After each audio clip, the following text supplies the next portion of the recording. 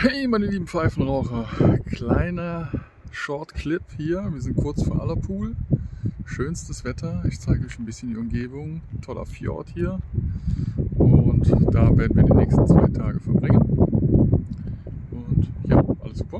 Sonne scheint, zumindest hier in der Ecke. Das kann hinter den Bergen da ganz anders aussehen. Aber ja, Regen hat uns äh, soweit fast verschont nachts oder wenn wir zufällig in Geschäften drin waren. Also alles super.